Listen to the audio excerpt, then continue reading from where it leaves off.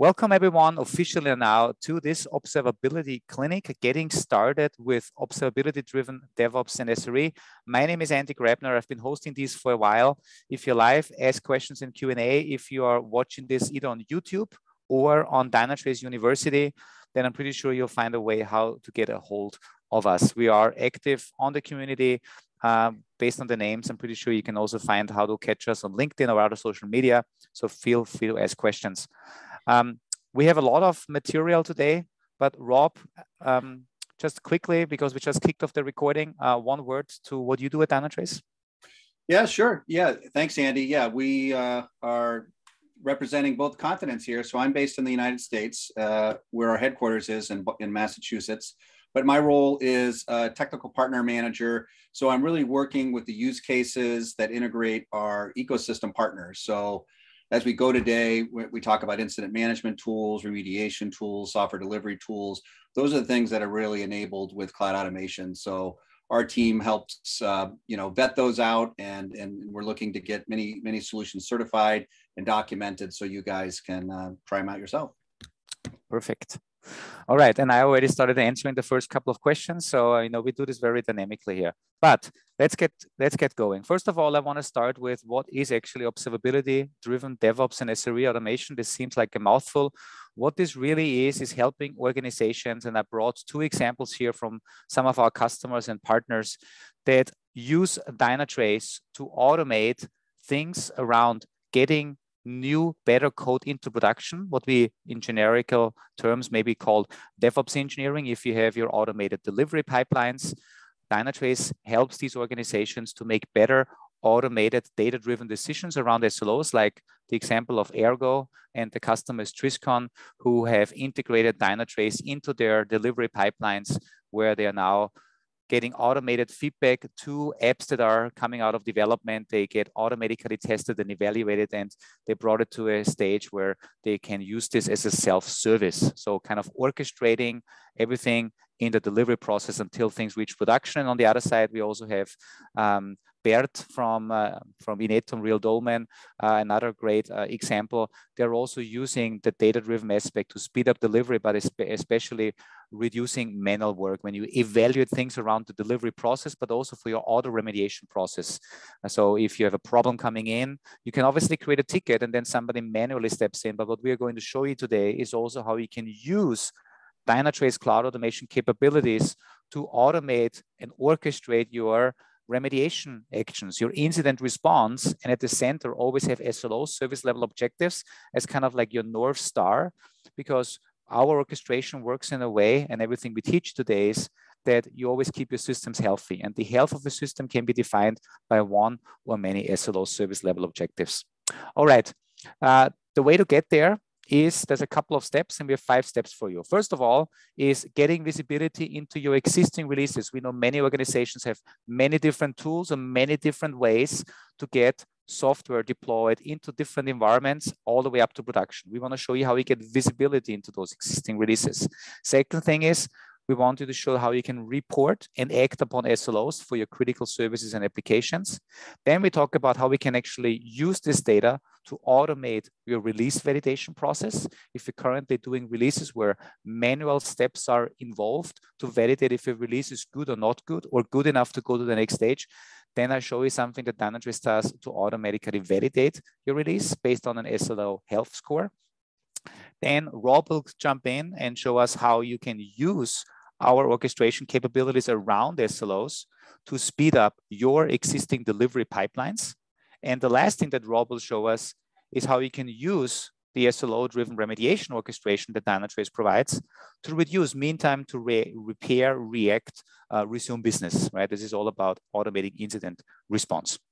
All right, I will cover the first three use cases and then Rob, I will have you come in for number four and number five. So the first yeah. one, yeah, uh, the first one is getting visibility into your existing releases. There's a capability in Dynatrace, we call it the release monitoring view, the release inventory, where we show you exactly based on the monitoring data we have from our one agent, what is actually deployed where in which version. We can also link it to your release ticketing systems, whether you have Jira and other systems. So we give you one-stop view where we show you what is currently deployed where, and also how does it connect to certain events that happen around the release process, including the option to actually link it with your ticketing system. So you see, are there any open tickets right now for a particular release? Now, demo. We have a lot of demos today.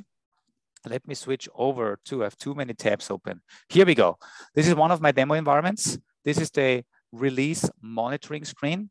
And in my environment here, I'm focusing on a particular management zone, right? So if I go to all, let me just uh, quickly zoom in here. Uh, Dynatrace will show me all of the releases that Dynatrace detects based on metadata that we collect from your from your containers, your pods, but also your, let's say, more traditionally deployed applications. I really like though the ability right in Dynatrace that we have management zones. Um, we can it can be applied for many things like filtering.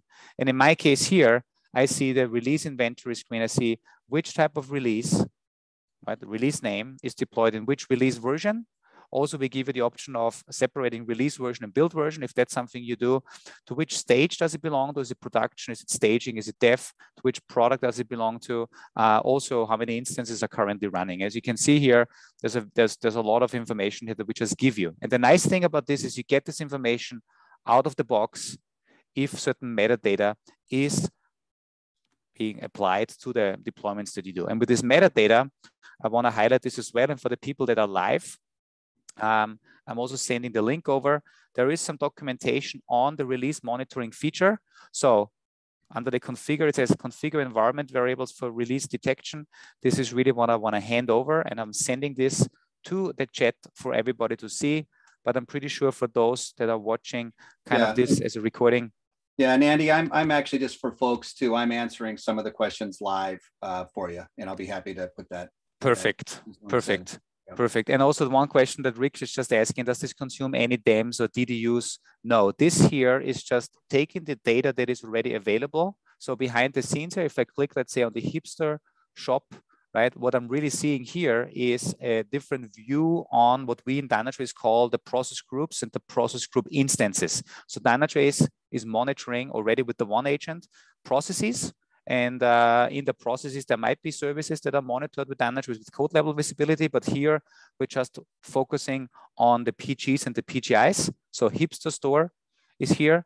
Uh, we give you that information. We show you how many instances are actually running um, and how the traffic is kind of currently going. Also very important, we show you events that are being pushed to that particular instance in Dynatrace, so you get everything in one view. No additional no additional uh, licensing uh, necessary. It's really, if I go all the way down to the PGI, to the process group instance, you will see in a second um, uh, where we get the data from.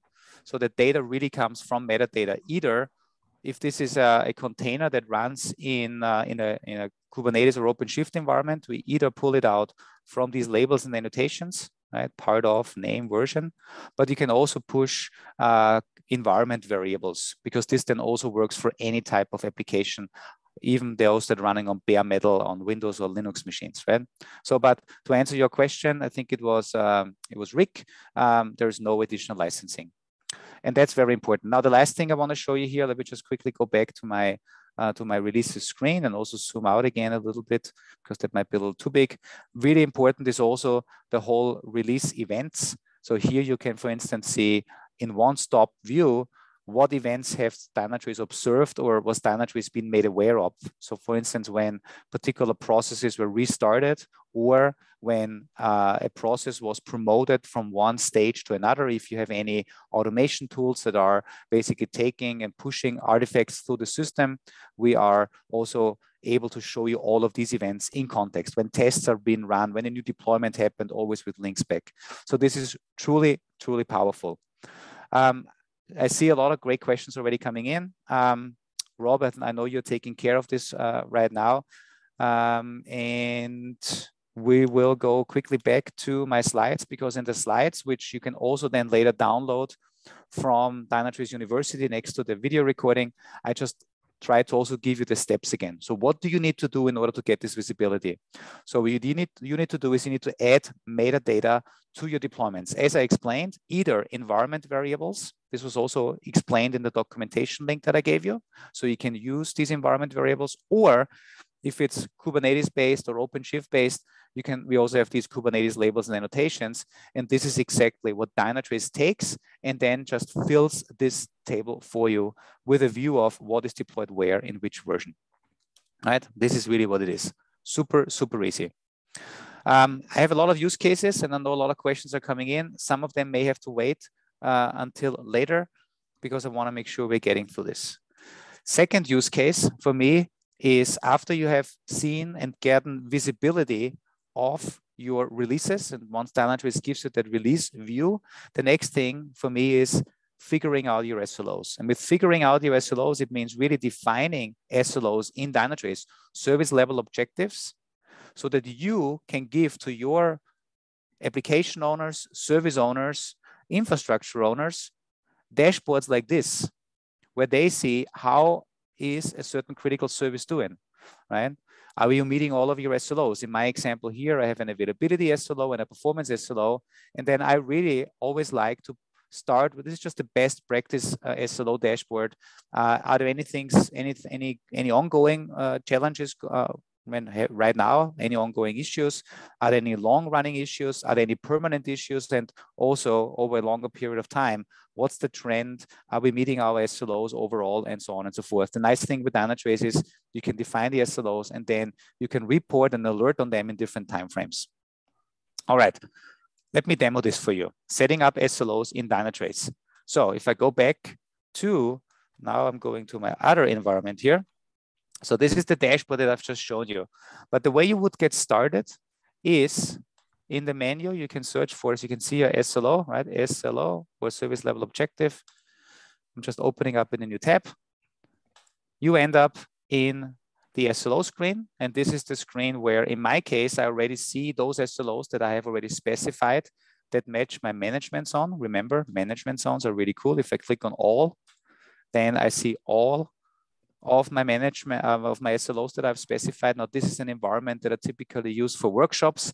I see some familiar names here on the call today. Some of you may have already done some of my workshops where I hand out a, um, uh, an assignment to everyone. Everyone is responsible for running and operating a particular piece of uh, service for a different for organizations. And I'm, I'm, i decided to use Apple, Acer, Amazon, B, and You can you get the idea. I just use used stock symbols, and in order to differentiate the data, in order to give us all a filtered view, I'm also using management zones. So in Dynatrace, management zones allow me to filter the data, give me my view of the data that I am responsible for, and it also is used for access control. Now, just a quick one on how you get started. Add new SLO this is really uh, a nice wizard that you can use to create new SLOs. We have five presets. These are the most commonly used that we have seen. Service level availability, service method availability, user experience, mobile crashes, synthetic availability. Now, if you look really close, let me zoom out here a little bit.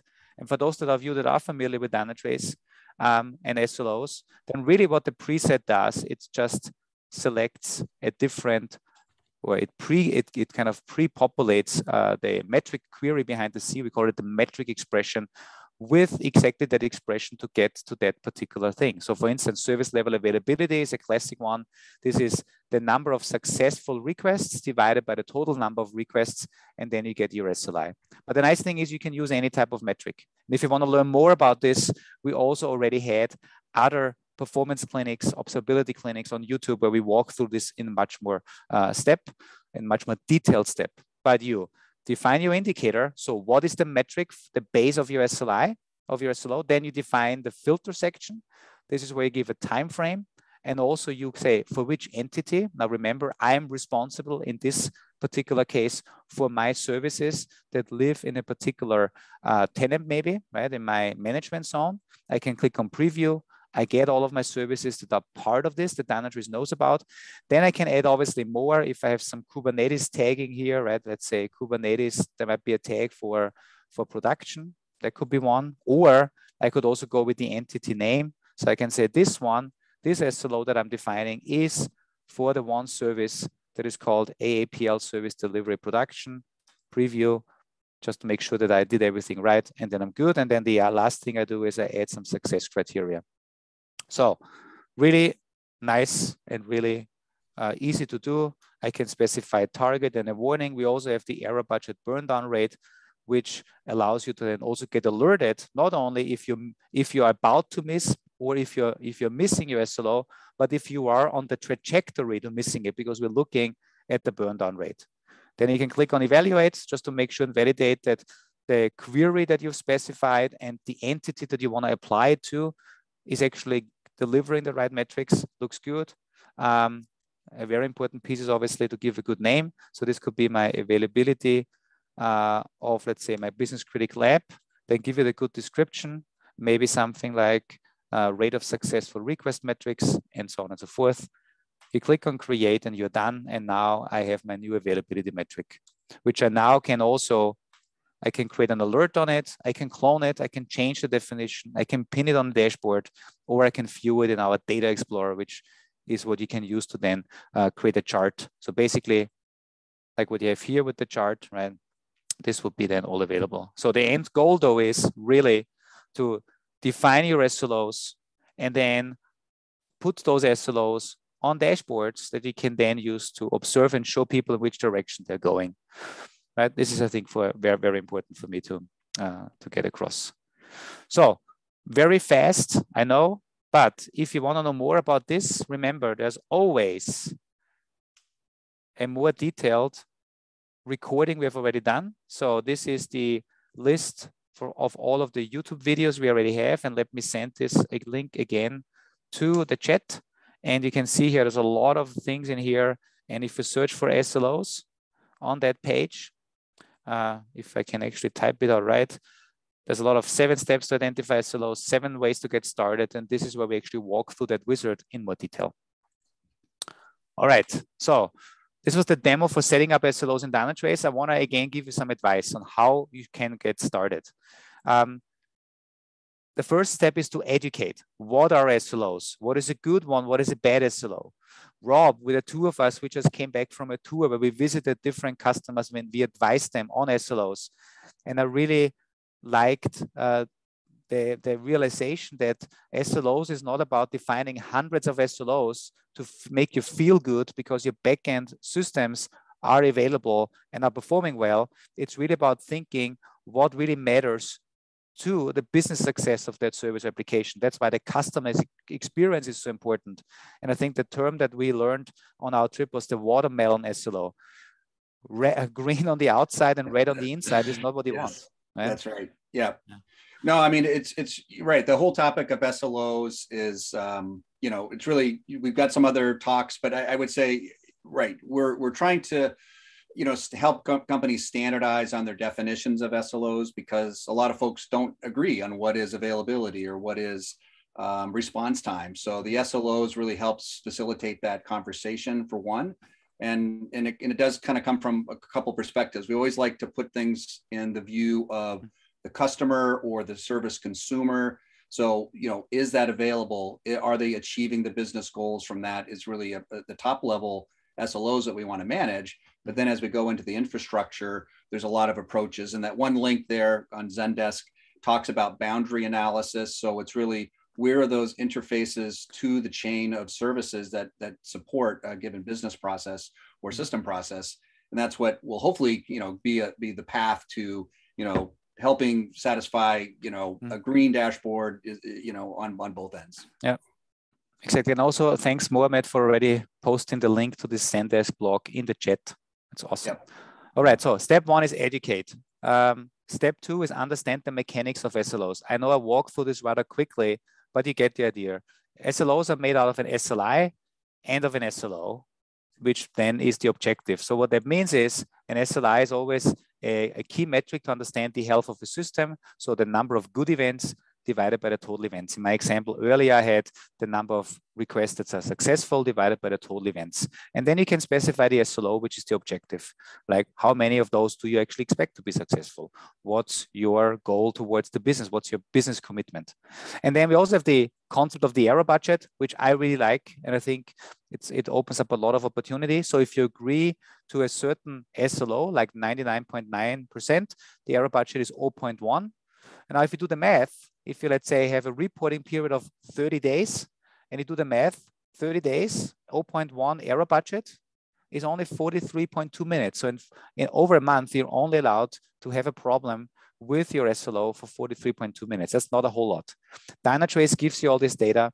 Um, you can define it, you get it, and you can also then get alerted on how fast you're burning through that budget. Really cool thing. This is just a new capability that came in recently. Not only that we visualize the current error budget, but that we also now have a new metric for burn down rate that you can then also alert on. So sum it up, this step, in the end, I really like starting with defining good SLOs and then putting it on dashboard. Availability and performance are always two great SLOs for me for your business critical apps, and then also put them on a dashboard with different time frames. And so the, you see, is there anything ongoing right now? Or do we have any long running issues or is everything fine? Yeah. And actually, that was one of the questions, Annie, that came up. You know, there's different there's different roles in companies from DevOps to SREs to, mm-hmm. to just the operation support.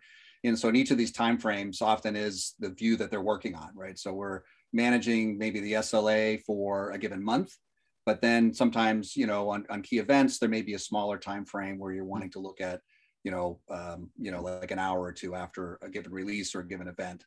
Um, mm-hmm. So flexibility to kind of see both is, is, is what we see people doing. Exactly. Yeah.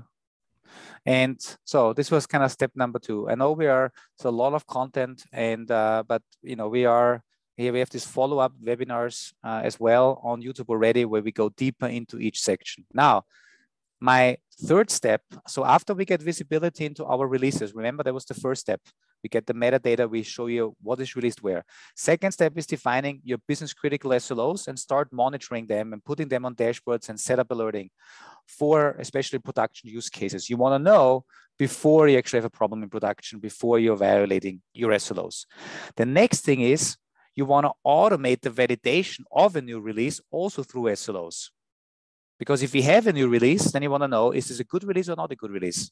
Or if it is released already, Shall we keep it or have to we, do we have to roll it back because we're burning too fast to our error budget?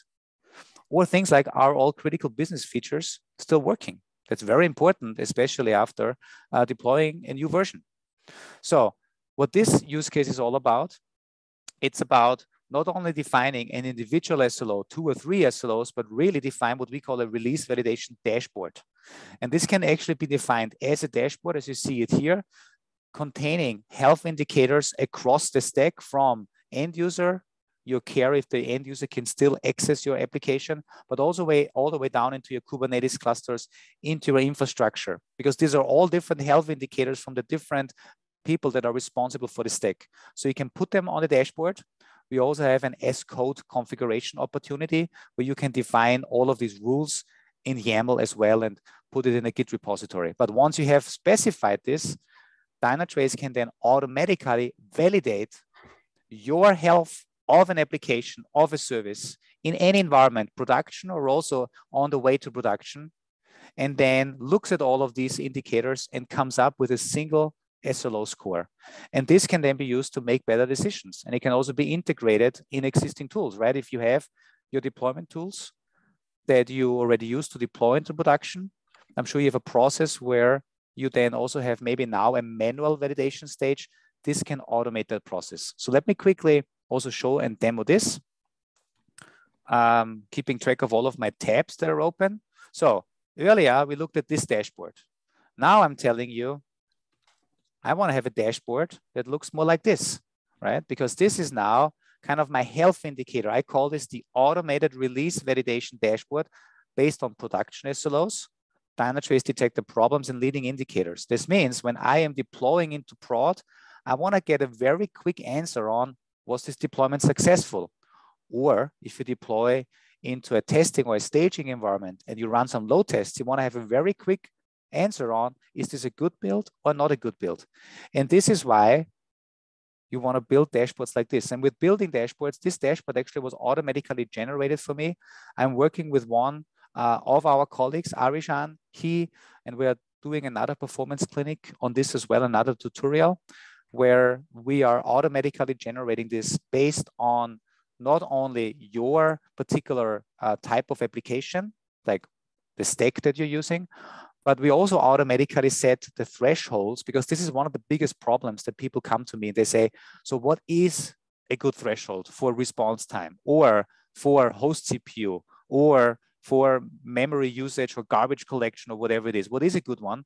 And then one of the things we are now providing with this automated generation, we're looking at the reference time frame. So you can say, I want to create a dashboard like this that contains all the key metrics from the end user all the way down through my stack. And depending on the technology, Java.NET Go, we put certain metrics on there by default uh, that we think are important.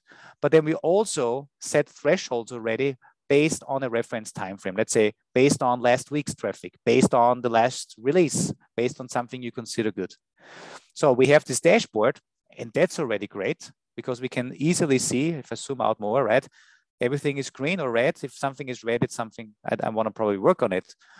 But what we now on top of this provide is the ability to integrate this into your automation and have Dynatrace automatically evaluate this dashboard for you. So what you're looking at here, this is what we call Dynatrace Cloud Automation, where Rob will show us many more use cases later on, but one of the key use cases really is the automated evaluation of releases based on these metrics that are put on the dashboard. So what you see here is what you saw in the in the um, uh, in the screenshot earlier or in the dashboard earlier, uh, right? This is the, the analysis of every single metric on the dashboard for a particular time frame. So you can trigger the analysis here from the deployment tools, and then you get a total score back. And this score back can then obviously result in whatever other action you want to take. Um, I want to show you one other cool use case here, just to go to this uh, version here, because in my screenshots earlier, I gave you an example of integrating this with your deployment pipeline. So here I have an Azure DevOps pipeline and the Azure DevOps pipeline is deploying into staging and is then actually calling Dynatrace Cloud Automation to validate if this is a good build and based on that decides whether to push it into production. It seems the last one has actually failed. So let's actually walk over to cloud automation. So here we can actually see the analysis that was done by the last run. It clearly failed. But what we did here as well, it was not just evaluating if a particular build succeeded. Uh, one of the things we did is we also, currently actually another build is running, what we can also uh, trigger as part of the release validation right? In my case, Azure DevOps is deploying, and then Dynatrace Cloud Automation can also trigger tests, any test tool that you already have. And, and Rob, I know, will show much more what we can do.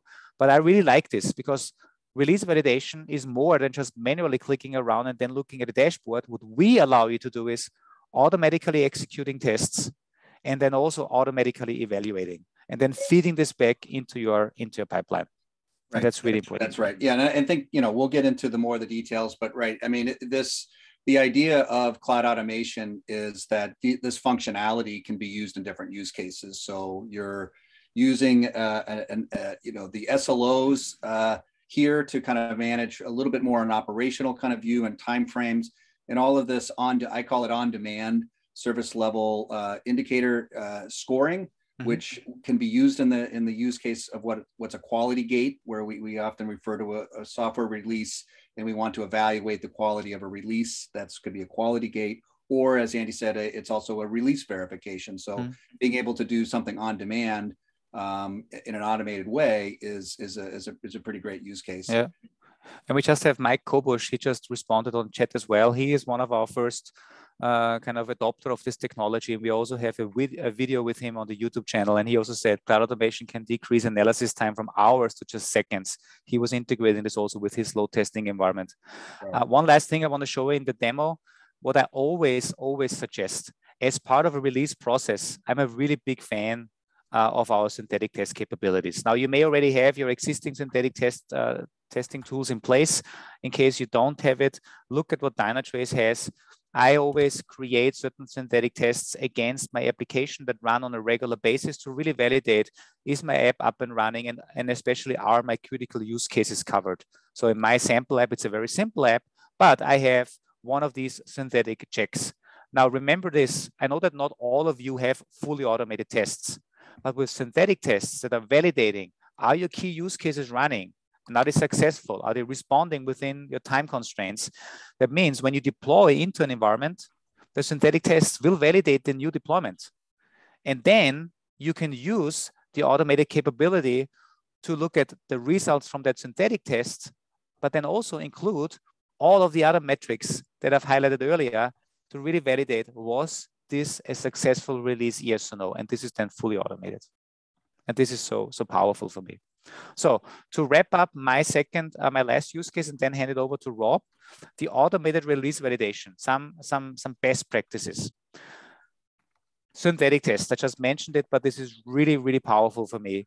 If you have critical apps, make sure you have the critical apps and the critical transactions covered by a synthetic test and you can define them either through the UI, we have a recording opportunity and then you can do it, but you can also automate this through monitoring as code. That means every Dynatrace configuration, including the synthetic tests, you can declaratively define them in JSON and in YAML, and then apply it as part of a deployment pipeline, which means you can actually, the developers can maintain, or your business people, whoever that is, can maintain the synthetic tests for your business critical apps next to the source code. And as you're pushing your application through the pipeline, one of the steps will be apply this configuration to Dynatrace. And then you have the tests. Once you have the tests, then you can create your release validation dashboards, right? As I've shown you earlier, right? right. Start with your critical yeah. SLOs and then go go go down the track Right. And I'll just point out, I mean, maybe if it's not obvious, that these dashboards are custom dashboards. So we certainly advocate, you know, using automation, and that's a, a power of any dashboard is just a configuration in Dynatrace, so they can be generated through uh, code, mm-hmm. um, and that's powerful. But know that that's the flexibility here. So if you're, you know, monitoring a um, a particular technology or, or, or layer in the stack, then these metrics can be customized for that kind of check. Yeah, you know, these these things can also incorporate um, user session data, right, Andy? We can also mm-hmm. do security data. So really, you know, we're showing you um, some examples, and these are, are, are ones that we're kind of gathering as best practices that and what customers are in are, are using, and, mm-hmm. and we're giving that feedback for folks. But um, as we'll get into the demo, I'm going to do this. All this is uh, you know the the settings of what you want your thresholds to be is all really up to you you know yeah. so we we um, you know have this way of visualizing it as a chart because it's a natural way to see the metric in a time series way but mm-hmm. then if you maybe if you I don't know if you can't really zoom in on, on a slide but well, and I'll show it on, on when yeah. I get into it but the thresholds can be um, you know set this way yeah. um, with tile by tile exactly and uh, i will share some additional links later on on monitoring as code and, and so on so the last step for the release validation so define your synthetic test that's a good just best practice get your dashboard and then what you can do is uh, use the automation capability. And I know there's some questions that just came in. So what is this cloud automation? Is this an external tool? Why does this look different? Is this differently licensed? Yes, cloud automation the component that I've used to show you the way we can orchestrate different sequences, but everything centered around the SLOs, one or multiple SLOs. Um, this is a special, not a special, an additional hosted component from us. So you can request it. Uh, you can ask your Dynatrace CSM. You can use the in-product chat to reach out. You can also follow up with us, Rob or I, and we can then uh, stand up and give you one of these. Uh, it is licensed through so-called cloud automation units. So when we orchestrate things for you, when we are automatically making data-driven decisions for you and then connecting all of your tools, um, every time you run one of these sequences and you're connecting tools, this is a cloud automation unit. The benefit for you is obviously you don't need to do things manually anymore. And you also don't need to build scripts that are connecting your tools. We're doing this for you. Should be rather straightforward.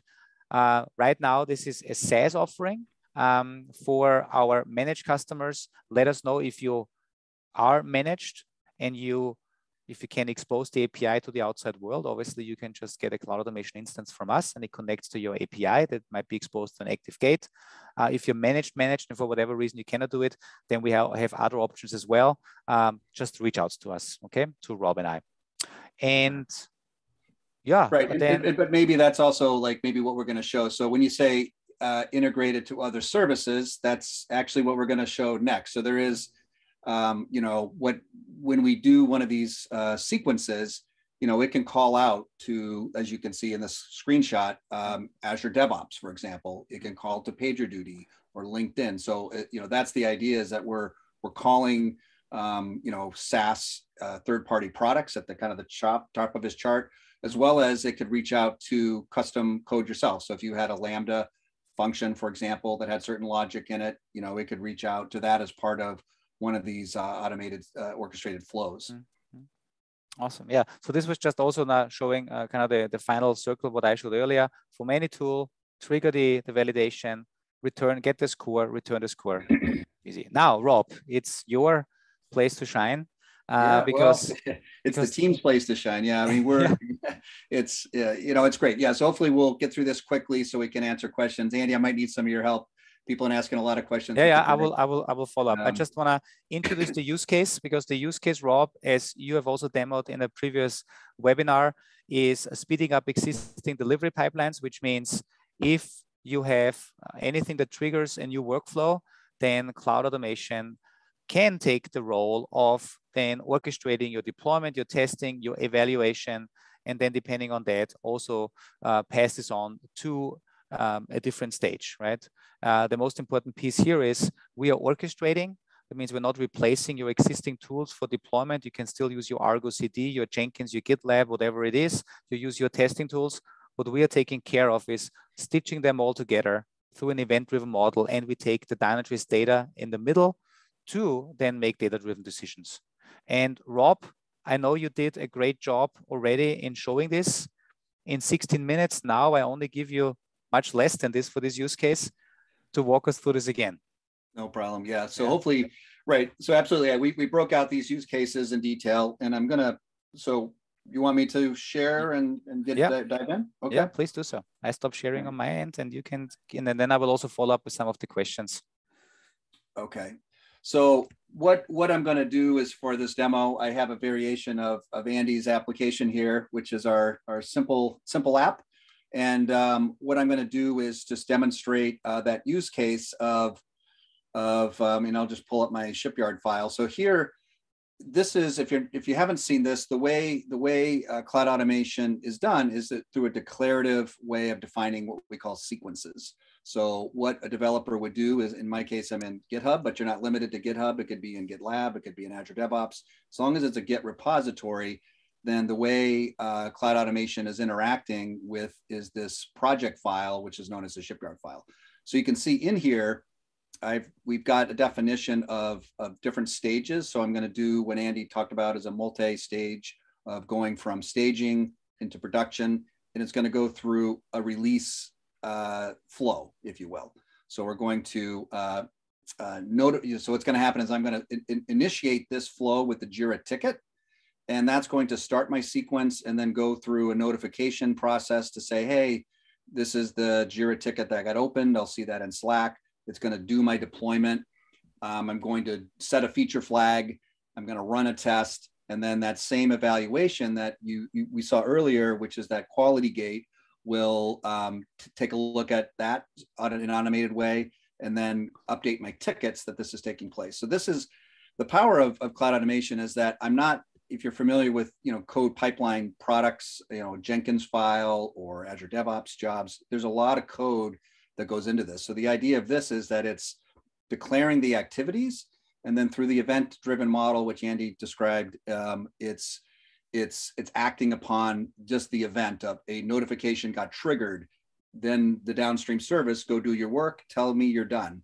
Hey let's do a deployment triggered. All right whatever tool did that come back. So this is the idea of like loosely coupling tools, allowing you also to swap out the tools. So if you move from tool number one to tool number two, this definition would stay the same. And it allows you to have kind of a, kind of a, a, consistent way that things are done and, um, and allowing you to have kind of some go- governance over, over these processes. So that kind of introduction, I'll show you what, what it looks like in cloud automation by, but I'll start off with running my ticket. So I'm just going to come into my Jira ticket and, uh, you know, we'll just call it, uh, you know, demo for, you know, performance clinic. Let's call it that. So what's going to happen here is on it, and if, and this is a specific thing to uh, Jira. Jira has a feature which um, I'll just, where you can have in Jira the ability to um, um, configure um, automation tasks within Jira itself. So Jira, so this is a Jira specific thing if you haven't familiar with this, but what's happening is when I make a Jira ticket, it's going to trigger the, um, the sequence in cloud automation. So what's happening behind the scenes is upon a issue was created or a Jira issue was created, I'm sending this payload into cloud automation to say, hey, my, my I want this release to start occurring. So this is in an automated way now calling, if I go to my, um, my cloud automation environment, I can see that my release has, triggered has been triggered automatically as a result of my Jira ticket. So this may, may be the way you do it where you're doing releases off of a Jira ticket, but you, you could imagine doing a code commit that would trigger this. And so what's happening with cloud automation, the, the event of, hey, let's start my release was triggered by my Jira ticket Jira told passed in all the data about it, like, hey, this is my Jira ticket number, etc. And now it's going through this flow. So as it goes from a release, the first task in my, my sequence here is a notification. And so what the notification was doing is, and I'll show you the details, but it calls out to two webhook services, which is how it, it gets out to uh, my downstream tools. So if I open up Slack, for example, I can see that I sent a message to Slack to say, hey, new Jira ticket for my code. Here it is. I can open up the ticket. And now um, this is my, my tracking of this process. So as we do this demo, you'll see that this ticket will get, get updated along the way. Um, so now here it's doing my deployment task. And what my deployment task was doing is was a webhook call out to GitLab to do my actual deployment. So I'm kind of simulating a deployment. But if I click on that, you can see that cloud automation triggered. Um, here I am now in GitLab, a hyperlink right to GitLab and you can see that it did my deployment task. It's not really doing anything other than um, running deployment logic here, right? So it, it, ran my deployment logic and passed back to cloud automation that it was completed. So you can pretend that it did that. And then same thing with a, uh, a testing step. So here I was calling a different webhook to a GitHub um, workflow. And if we open up that one, you can see you know, I'm simulating a test in this case, but imagine this was a wrapper to your load testing tool or or whatnot. So the point of this is that you're triggering um, external tools and orchestrating this flow. And so when their job is when they're done, they they do have to send back to cloud automation that my test event was finished and they can pass back details and that's how those urls and different things are showing up that you see so here, after I do that, I'm running that evaluation stage, which is the same thing Andy showed, which could be our quality gate. So the idea here is I could, you know, open a JIRA ticket, it triggers the sequence, it deploys code, it can set a feature flag, it can test my code, and now do my evaluation. And this takes about a minute to process uh, because I, I'm looking back in time, so it has to wait a minute or two. But then the idea, what will happen here, I'll just show you one that finished, um, just for sake of time it would go in from a, a, staging. I would um, at the end. I'm going to update my issue, which I which I mentioned. So I'll open up one that's already been updated.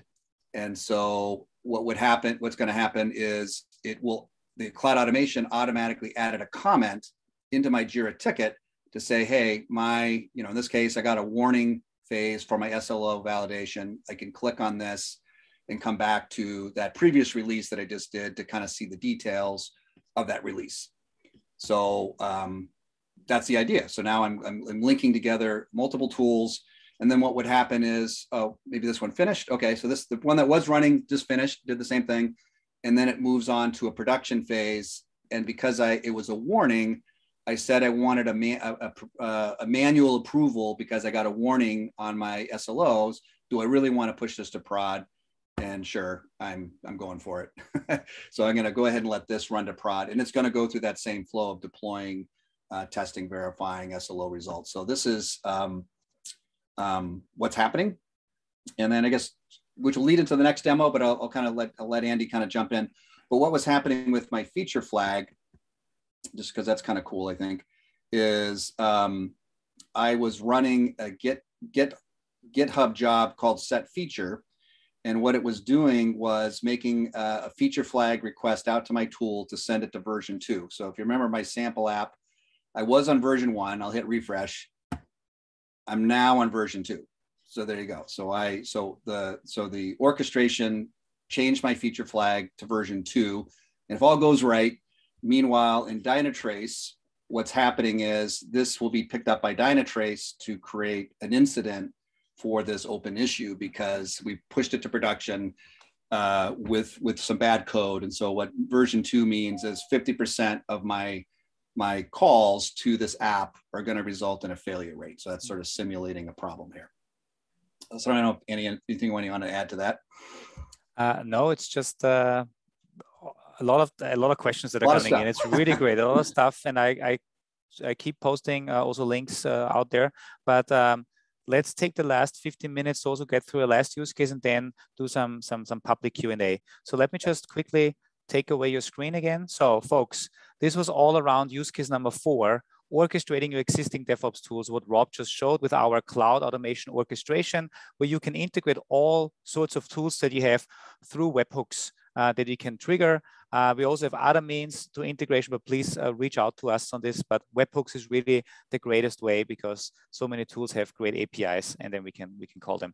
The link to the video, Rob, where you also did this demo, I just posted it into the chat as well. Now, the last use case is reduce mean time to repair. So we just saw the orchestration from Rob for a delivery use case for getting stuff safe and keep it in production. But now the next use case is what if you have something running in production and Dynatrace detects a problem that something is wrong? Let's, for instance, say you're burning too fast to your error budget because something is happening or some system is no longer available. Then we can use the same orchestration layer to orchestrate a sequence that may start with, hey, there's a problem. So of course, let's create a new incident ticket, notify people about the update, maybe through Slack, uh, toggle the feature flag. I think you were alluding to this already.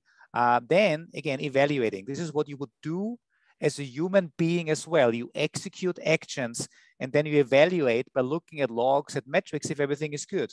What we have just done, we've built this at the core of our cloud automation orchestration. We always evaluate and then you can define and say what next to do.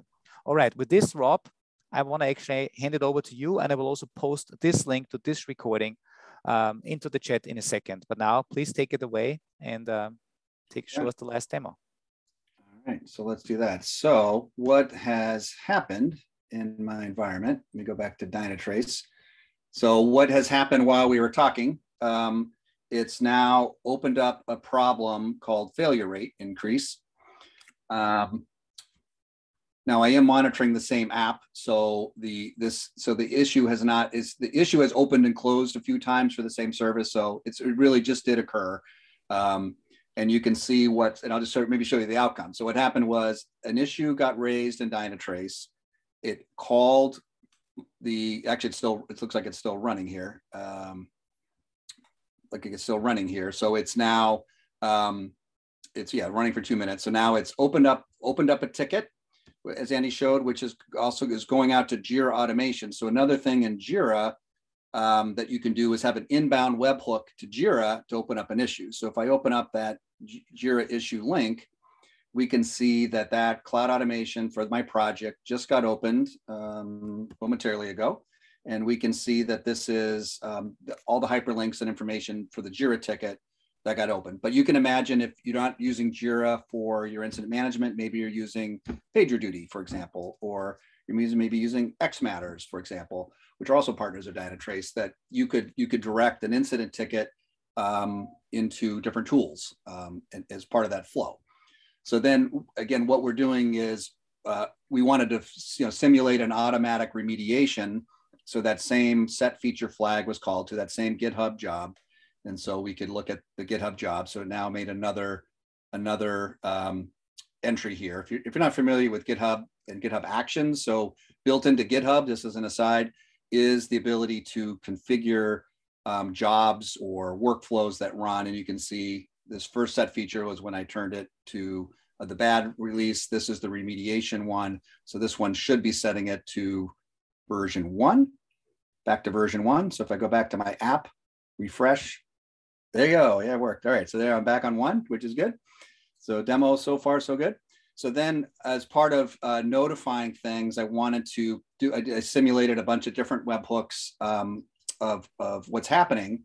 And so if I go back to Dynatrace, for example, um, what was happening, that's where it, it added, so I think I already showed it to you, but what it was doing, Dynatrace has an API to add comments into the problem ticket. So it's notifying this, for an example, and I think I go back to Slack, if that's done, you can see, right, new incident got created with hyperlinks to the JIRA ticket. So you can see what's happening is, you know, a number of different tools. And again, your requirements are going to be different, but the, it, just like that flow Andy showed um, is what's showing you the art of the possible, right? And so whether you perform a remediation in an automated way, you may not be ready for that. It may be just a value to create a ticket and then run the evaluation to gather statistics about it because that's what a support engineer does. All right, let me gather some data. So that's going to save you time just by gathering more information about the problem to hopefully hopefully resolve that that that faster. Pretty so, powerful. There's a lot of questions that I came that came in on on webhooks. I mean, the nice thing about this is this you can with with the webhook capability and the way we've set it up, you're basically subscribing a webhook to an event or to a task, which is a nicely loosely coupled way. Uh, basically, everything we do here in cloud automation is a is, is a loosely a loosely coupled implementation of of uh, of orchestrating sequences of tasks. You define the process, we call them sequences of tasks, and on the other side, you basically specify what should happen when a certain task gets executed. The task execution itself is event driven.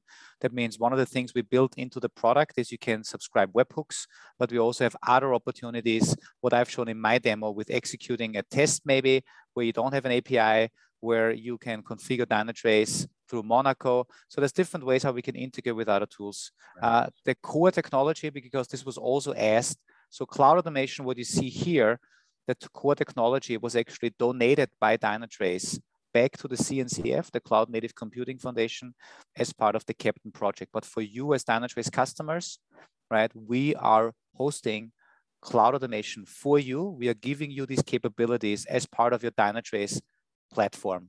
And because we think the data is great that we have, but it really becomes powerful if you're doing data driven orchestration. Right and you can see, right, I mean, you might see my our URLs, but you could see this is SaaS um, hosted by Dynatrace.